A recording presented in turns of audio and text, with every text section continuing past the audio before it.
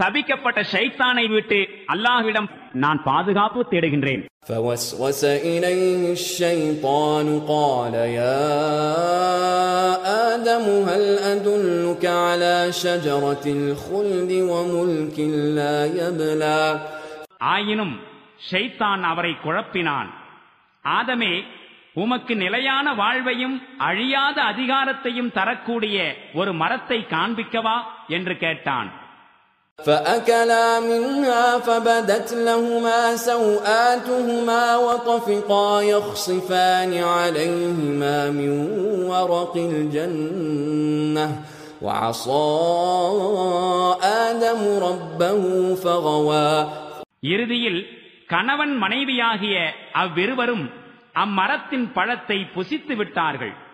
உடனே அவ்விருவரின் மர்மஸ்தலங்கள் பரஸ்பரம் வெளிப்பட்டு விட்டன. மேலும் இருவரும் சுவனத்தின் இலைகளால் தங்களை மறைத்துக் கொள்ளலாயினர். ஆதம் தம்முடைய இறைவனுக்கு மாறு செய்தார். நேர்வழி தவறினார்.